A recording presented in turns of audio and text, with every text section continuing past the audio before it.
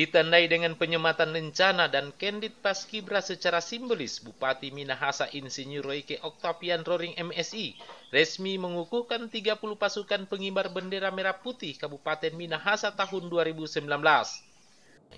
Pengukuhan paskibra dilaksanakan dalam upacara pengukuhan yang bertempat di ruang sidang Pemkap Minahasa pada Kamis tanggal 15 Agustus 2019.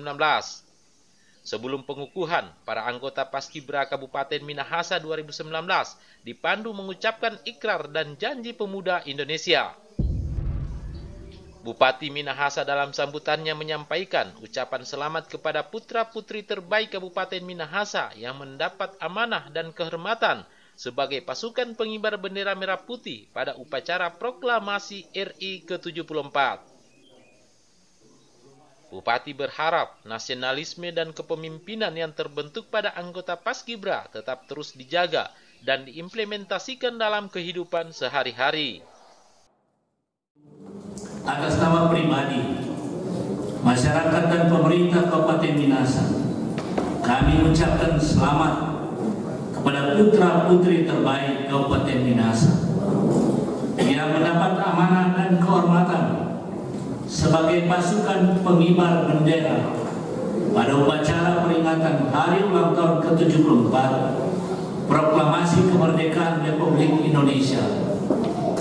Tahun 2019 tingkat Kabupaten Minasa yang telah kita saksikan pengukuhannya baru saja selesai sebagai ikrar yang kalian ucapkan serta prosesi cium bendera merah putih.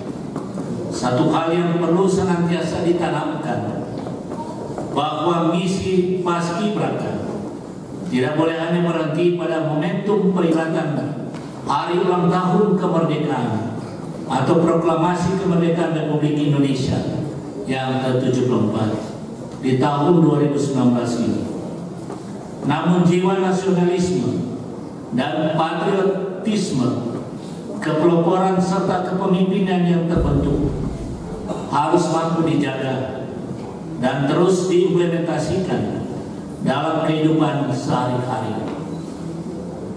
Sebagai putra-putri pilihan di negeri ini, di tanah Minahasa ini, kalian harus memberi energi positif bagi generasi muda lainnya dan juga bagi masyarakat.